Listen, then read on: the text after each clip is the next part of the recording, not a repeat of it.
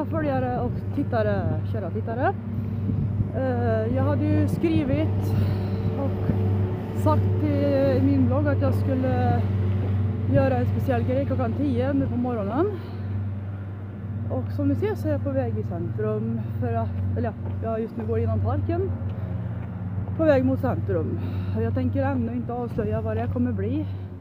Det får ni se senare vad det kommer bli. Så tills dess, see ya!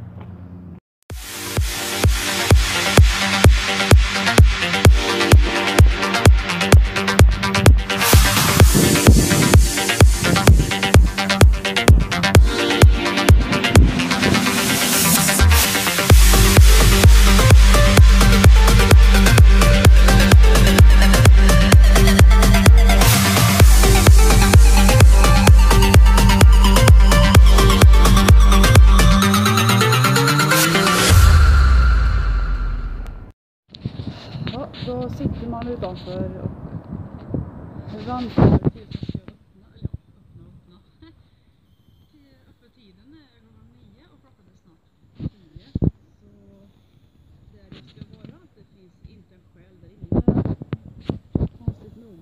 Och det är kolsvart där inne. Så man får väl se när de öppnar.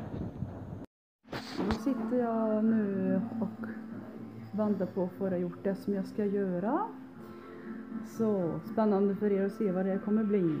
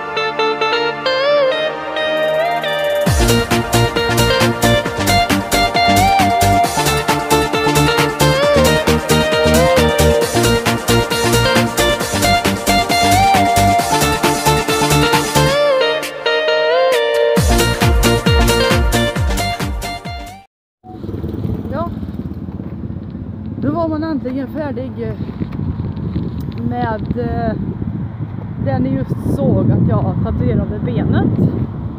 Det var vad jag hade gjort och skulle göra idag. Ehm, så nu är jag på väg och ska ta bussen hem. Där är man nu på väg till bussen.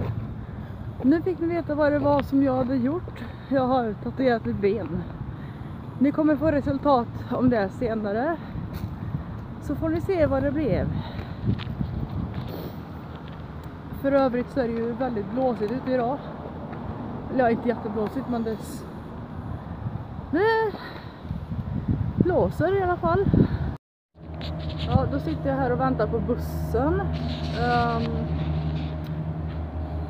ja, väldigt fint väder, inte blåsigt. Det är väl det som hör hösten till antar jag.